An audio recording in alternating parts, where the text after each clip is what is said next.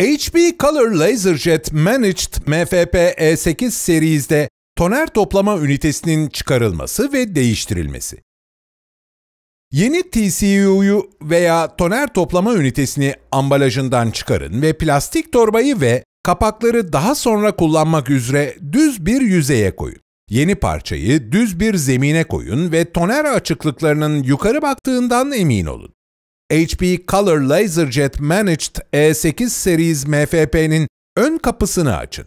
Sol ve sağ taraftaki toner toplama ünitesi üzerindeki serbest bırakma sekmelerine basın. Tonerin dökülmesini önlemek için taşıma kolunu üstten tutarak ve dik tutarak toner toplama ünitesini yazıcıdan dikkatlice çıkarın. Sökme sırasında veya sonrasında parçayı devirmeyin veya eğmeyin. Üniteyi toner açıklıkları aşağı bakacak şekilde yerleştirmeyin. Toner dökülebilir ve zemine, giysilere zarar verebilir ve temizlenmesi çok zor olabilir.